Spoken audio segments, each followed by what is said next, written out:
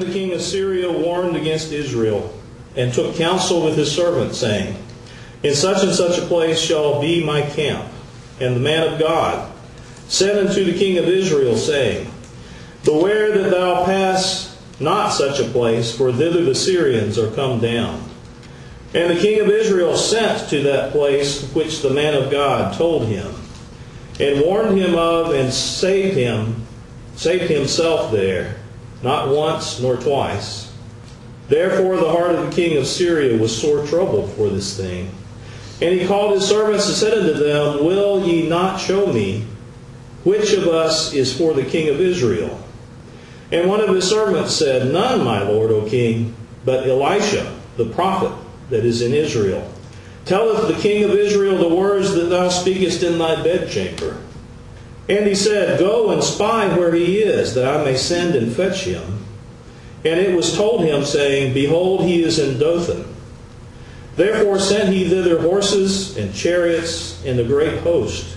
And they came by night and compassed the city about. And when the servant of the man of God was risen early and gone forth, behold, an host compassed the city both with horses and chariots. And his servants said unto him, Alas, my master, how shall we do? And he answered, Fear not, for they that be with us are more than they that be with them. And Elisha prayed and said, Lord, I pray thee, open his eyes that he may see. And the Lord opened the eyes of the young man, and he, and he saw. And behold, the mountain was full of horses and chariots of fire round about Elisha.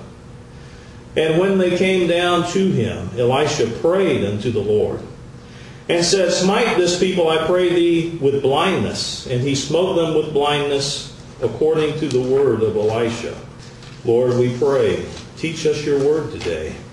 Lord, all that you have to tell us today, we pray that we have willing ears to listen.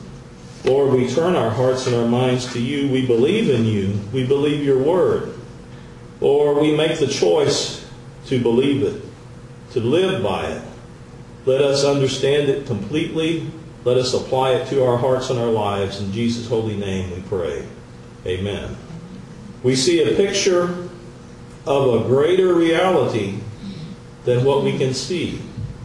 And we see a picture of a young man who, in his fear, was granted by the prophet, and of course by God who answered the prophet's prayer, that is Elisha, the prophet.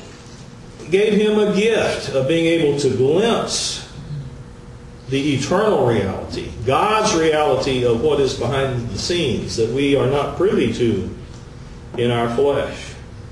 God's reality is His creation. God, in fact, created all reality. All that is real is of God. All that is true that we can believe in is that which God has created. There is one thing that someone else created, apparently, as I understand it. The devil, whose name Satan means the adversary. The devil created the lie. And Jesus called him the father of lies. Satan is the, the father of all untruth. God is the creator of all reality. What really is, what is really true. And God calls upon us to believe what is true. Because all that is true is of God. All truth is God's truth. You've heard the common saying. Throughout Scripture, we are told the value of truth to God. In Psalm 51, David wrote, Behold, thou desirest truth in the inward parts. God wants us to be truthful from the inside out. He wants us to live according to His truth. He wants us to be truthful to men and most especially to God. If we're true to God, we'll be true to men and we'll be true to ourselves as well. We will not be then lying to ourselves. Living in unreality, living by vain imaginations, those are all false. They are not reality. Jesus said, I am the way, the truth, and the life. He prayed for his disciples, sanctify them, make, make them holy through thy truth. Thy word is truth. He promised his disciples, Ye shall know the truth, and the truth shall make you free. That's what God feels about truth. And he sends us the Holy Spirit, which is called many times the Spirit of truth. That Spirit which is characterized by truth. That is God's reality, is what is of the Spirit. This world is not all of reality. Even scientists have begun to conclude, they speculate, that is, that in fact, all that is solid in this world is at its base energy. And the way I see it, what God has spoken into existence and exists by His energy can be gone in a poof, just like we're told in Scripture. And God can do with it what He will. God created reality.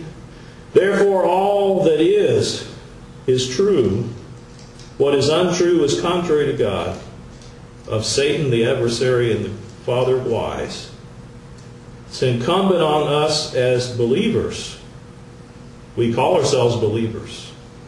And it's incumbent upon us, and we're tasked by God, given the task, to believe the truth. Not just to believe the truth we're given, but to know the truth, to find out His truth, so that we may live His truth, live in reality.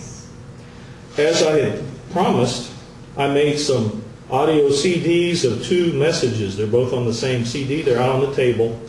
You're all welcome to those. You can, if you want to pass some along, you're welcome to those. If we need more, I'll run some more off.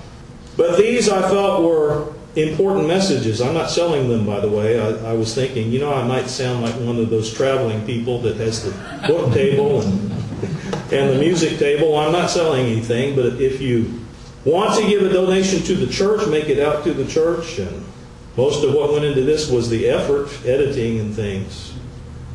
I doubt that it cost a dollar to make per copy. But I would like to get those into people's hands, and they are the messages prior to Christmas. First is the message I entitled Christmas Gifts of Revelation, some of you remember. How God, prior to Jesus' coming, first, he sent an angel to announce the birth that would come of John the Baptist. He sent an angel to announce the birth of, to come, which was speaking to Mary, that she would have a child of the Holy Spirit. And he sent an angel to Joseph to assure him that that child was of the Holy Spirit, that his betrothed did not cheat on him, and to go ahead and take her to wife. But then, as I described at some length, God desires not to have to send us an angel. He does not usually. He wants us to be full of the Holy Spirit. Like Simeon, whom God had told would not die before he had seen the Messiah in person, the Messiah come. And Anna the prophetess, who, who hung out in the temple, faithful to be praying and praising God daily, who was moved by that Holy Spirit to prophesy over that child who was Jesus on the day of his circumcision. And I noted, among other things, that if Simeon was not up on his prayers, if he was not in the Spirit on that day, he might have missed that gift God was giving him. Because that was a gift. To receive the Word of God, everything we receive of God is a gift. Everything in the kingdom, God's economy works on gifts. That our faith is the currency of God's kingdom, and what God gives us back is gifts. God desires there to be gifts in the church. That's how the church is meant to operate. And that leads me to the second message, which I entitled God Gives gifts freely if we are ready to receive. How many gifts do you think the Lord would like to give the church if the church is ready to receive? We have to do things decently in order. We, we read the instructions of the failings, in fact, of the Corinthian church, 1 Corinthians chapter 12. And you can, you can do things that are out of order. But that church was doing a lot of things right. The Apostle Paul just wanted to direct them and, and channel them in the right direction. I've often thought about the principle of inertia. I took physics in high school.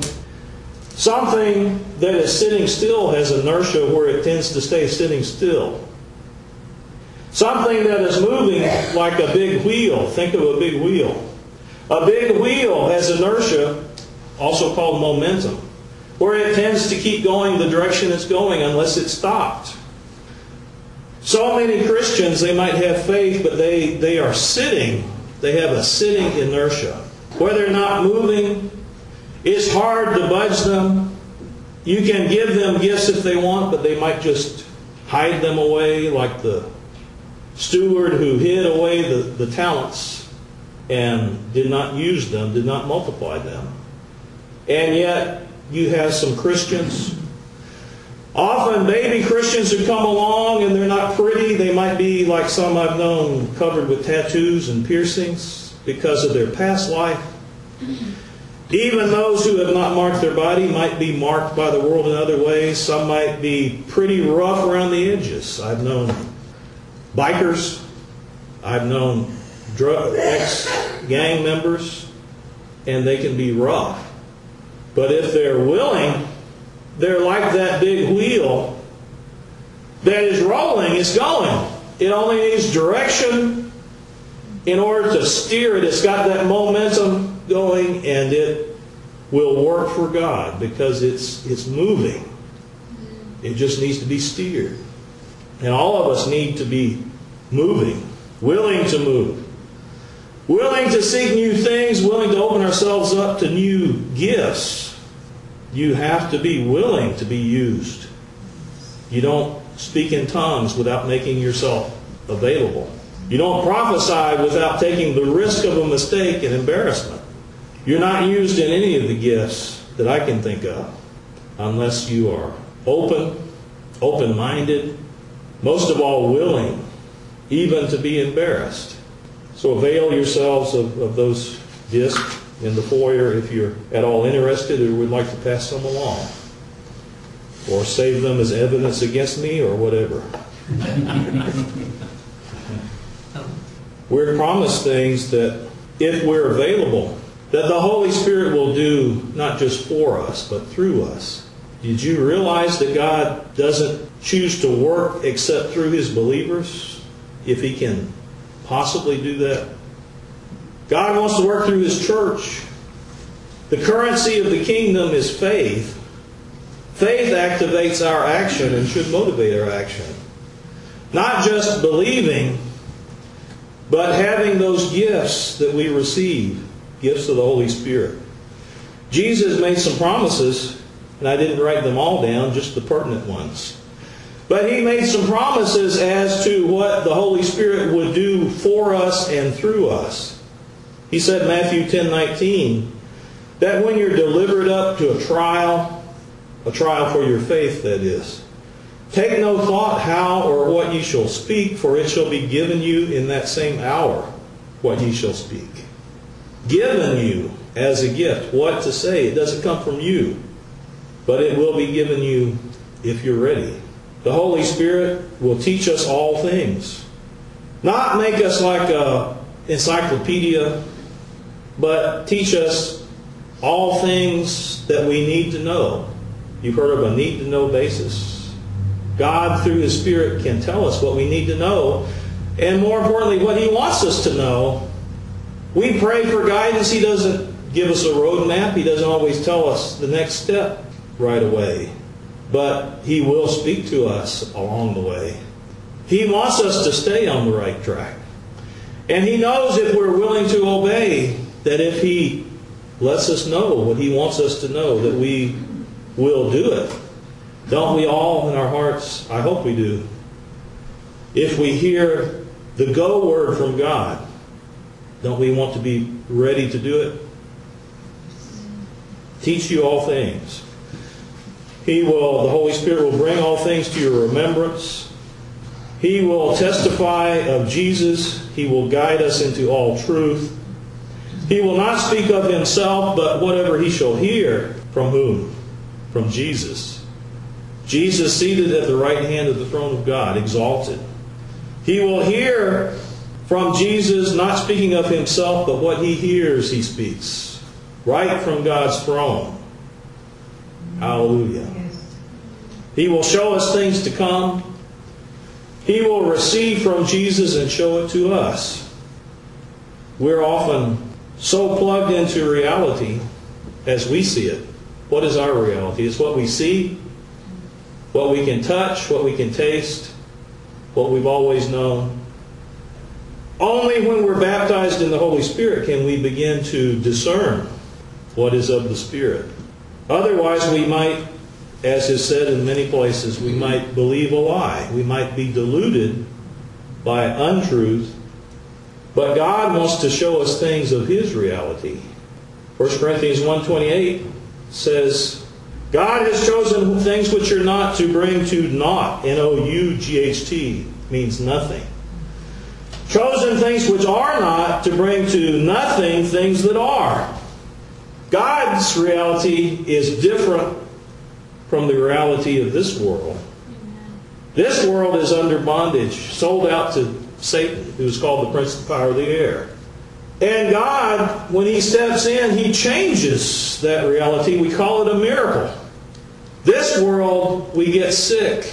If God chooses to heal, He steps in and He does a miracle. It's not the everyday course of things. He steps in and he changes reality because what God speaks is reality. We're told to look not at things which are seen, but at the things which are not seen. 2 Corinthians 4.18. We're told Hebrews 11.3, things which are seen were not made of things which do appear. The things we see are not reality.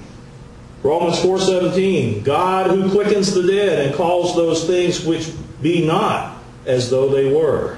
Things which are not, God says, let it be. And it is, just as sure as he spoke the worlds into existence. We need to know the truth. We need to believe the truth. We need to walk in the Spirit so that we know the truth. And we need to see through God's eyes by the Holy Spirit what the true reality is. I like the quote I saw on the internet this week. I've, I've heard it before, but was reminded. Smith Wigglesworth, an early Pentecostal. Smith Wigglesworth said, I am not moved by what I see. I am not moved by what I feel. I am moved by what I believe. Believe. We need to be, believe. We need to rely upon what we believe. What is delivered to us to believe? The day we accepted salvation, didn't we believe what we were spoken of from the gospel? The gospel comes, God adds to it the yes of His Holy Spirit, and we have the choice to believe, and we receive it. We have the internal witness then from the Holy Spirit of God's Word as we read it. Because we are told, as I preached recently, Ephesians 5.17, Be not unwise, but understanding what the will of the Lord is. We have two ways of knowing the will of the Lord. The Word of God as delivered to us, and the Holy Spirit who will speak to us, which always agree. Always confirm one another. I have sometimes needed to be corrected in reality. When I was saved, I accepted a different reality than I had lived with and I had grown with, things that I could not see, then became my reality. I remember after being baptized in the Holy Spirit, when I went forward, and I was going to a big church in Houston at the time, and I went forward on a call to receive the Holy Spirit and was prayed for. And I didn't feel any magic. I was not fluent in anything I said. I was halting. I, I didn't know how to do it. But I, I tried to enunciate what came to my mind. But in my case, I didn't know until a service not long after. I remember it being in that service. Big church, many sections of pews. It was one of those times when the Holy Spirit just settles down over a room. And there's a holy hush that settles down. People somehow sense the hush. And some words of tongues and then interpretation came after that. Three, as I recall. But the amazing thing, when that hush fell upon that place for the first time in my life, I had a sense of something, even more than sensing the hush. I sensed in my spirit there would be a word from the Lord over, over this way from me. And it came right after. Just, just like that, after I sensed it. Then I sensed there would be a, a word from the Lord over to my right, and it came. And I sensed another one back this way, and it came. And I, I told myself, there's something to this Holy Spirit because I sense a reality I did not sense before. Just recently, I was praying about something, and I had a certain impression. I was praying and asking the Lord along, along certain assumptions I had in my mind. And I received a word of knowledge. Now, when I receive a word of knowledge, some people are especially gifted, apparently. I've never, I don't recall ever receiving a, a word of knowledge for anybody else. I've never had that experience of saying, well, there's somebody over here that has a sore back and we need to, the Lord wants to heal that. You've probably seen that somewhere. And I've never, I've never lined people up and, and said, the Lord wants you to know this and the Lord wants you to know that. But the Lord has, has given me specific guidance at times. He gave me guidance when He sent me to Bible college. He gave me a choice of two places. Have I told you this story? He, uh, he told me go to Southwestern or go to Springfield. And one of the remarkable things is I chose Southwestern. I said, well, Lord, that I've never lived out of Texas, and I, I, you know, that's closer. I've never been there. I've heard of it. And it, it, I felt like the Lord said, okay, when I chose. But you know, I ended up in Springfield anyway. Because the Lord sent me later. In fact, I didn't, I didn't plan on telling this story, but there was a, a teacher, my Bible and theology teacher at Southwestern, J. Dalton Utsi encouraged me three times, as I recall. He, he would come. I didn't have the best grades in there. That was the worst grades I got in school, I think. He gave me B's. He came to me three times and, and, and mentioned to me, well, the Assemblies of God has a, has, they called it the graduate school at that time. He said the Assemblies of God has a graduate school, and I forget what else he told me about it, but he seemed to encourage me to look into that. And it did not click until the third time. Something clicked, and I knew that I was to go on to what is now called the seminary. But that's not that's on the way to the, the story I was telling about a word from the Lord. We, we need to seek revelation from the Lord. He doesn't necessarily give us a daily word to go by. He requires that we walk by faith and not by sight. But He sometimes wants us to know things to do. And He gives us not just tongues, interpretation, and prophecy, but He gives us words of knowledge, which is something we need to know. He gives us words of wisdom, which is what we need to do, what to do. And in this case, I was praying along certain lines. I had a certain sense of what I should be praying, and I was asking the Lord something, and He spoke to me. It, it surprised me. It was, it was just in, it was not an audible voice, but the words came to me so clearly, and I, I don't want to be specific because it's private, but He said, "Is basically it's not as you think. The situation was not as I was thinking. And it became it began to become clear afterward that that was true. The fact is that we don't know how to pray. We're told, Romans 8:26, the Spirit helps our infirmities because we know not how to pray as we ought. If we don't know how to pray, we have the resource of tongues. We are told to pray in tongues because that is the Holy Spirit praying through us. What is God's will? We are told if we want God's will in our lives, if we pray, I should say, if we pray according to God's will, then we know we have the petitions that we ask of Him. And how can we know how to pray? How can we think our prayers will be answered if we don't pray according to God's will? So we need to pray in the Spirit and let the Spirit speak through us, pray through us. Or as God sometimes will do, He needs to reveal to us and will reveal to us if we're ready to receive. He will reveal to us how we should pray as well as what we should do. How can we think that the Lord will answer our prayer if it comes from us, if we have decided? You know, I talked about lies and Satan, the father of lies. What was the first lie in the Bible? Adam and Eve. The serpent said to them regarding the tree of knowledge, the knowledge of good and evil. The serpent said if they ate the fruit of that tree, they would be like God, which means they would decide for themselves, doesn't it? Eating of the tree of the knowledge of good and evil, what's good and bad, being like a God, making your own decisions.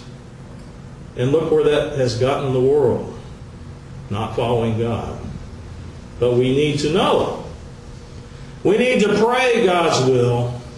We need to be open to receive God's will. If our prayers are not being answered, sometimes it might just be God's timing, but maybe He's waiting on us to align ourselves with His reality. Because His reality is what is really true. And God has a plan for each of us. God purposes to do His plan. And if you read Scripture, you will see that what God purposes is as good as done in God's eyes.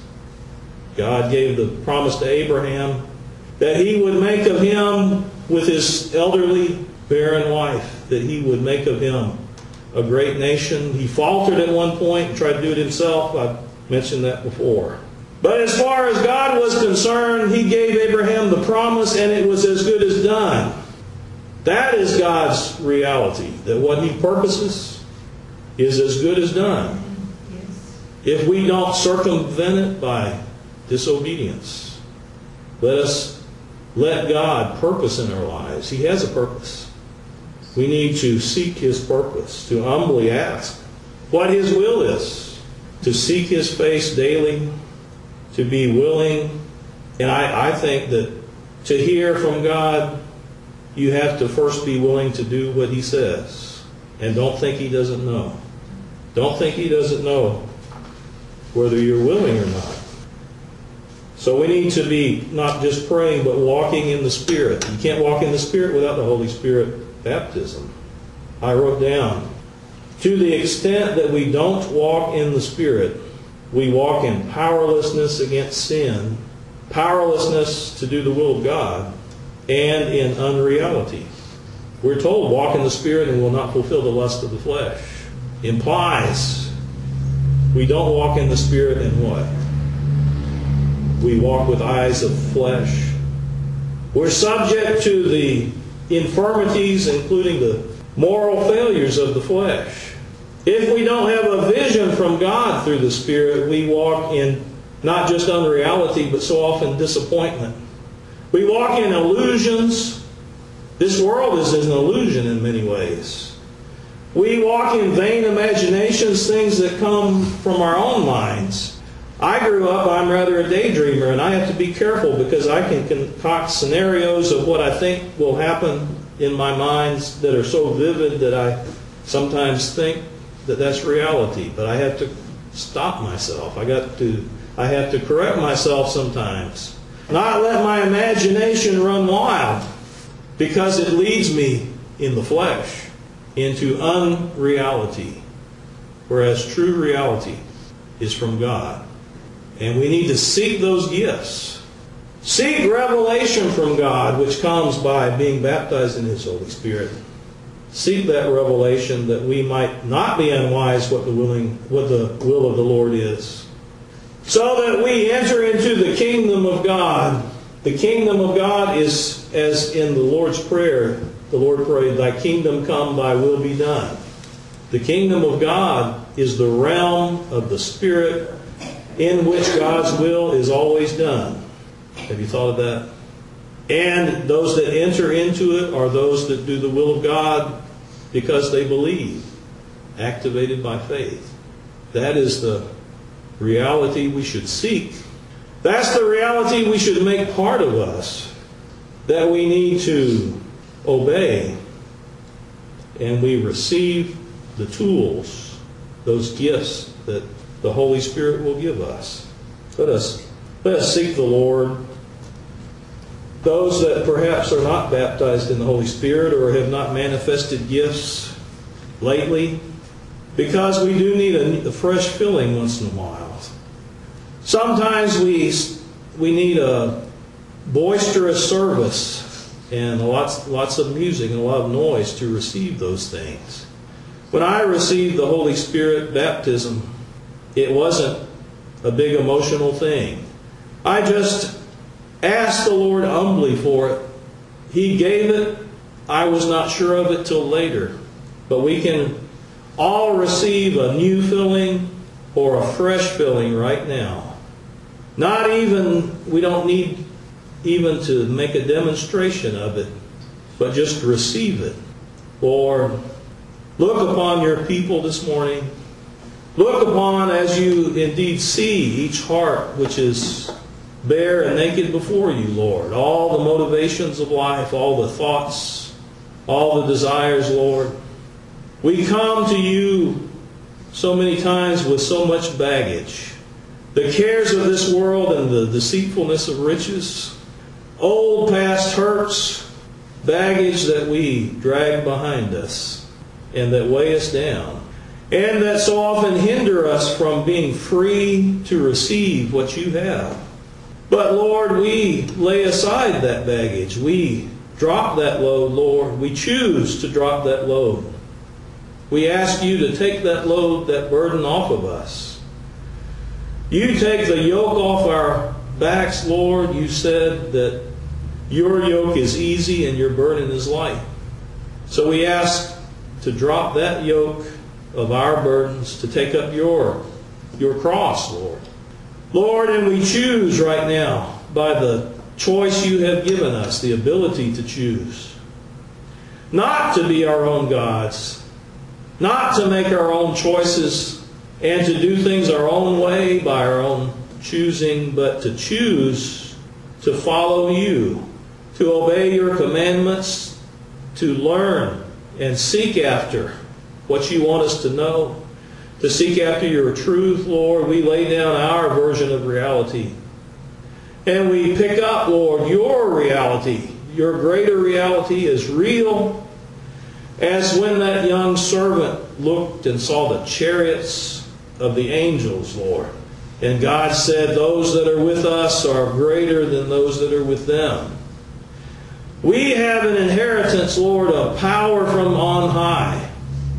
Not just the angels, but God's Holy Spirit, part of the Godhead, who connects through our human spirit who connects us, in fact, to the right hand of the throne of God, where the Son of God exalted is seated and all things have been put under his feet. Lord, we, we take upon us your kingdom. Your kingdom come. Your will be done in our lives. We choose from this point onward to seek your kingdom. To walk by not our vain imaginations, Lord, but our choice to follow you, to pray in tongues that we might pray your perfect will. Lord, to pray as we're commanded to, as you would speak to us a word of knowledge, a word of wisdom, a prophecy, interpretation, whatever you would tell us, Lord.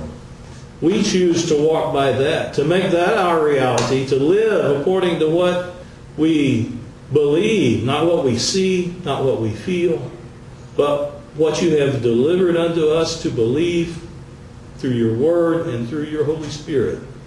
We choose to obey you. We choose to follow you.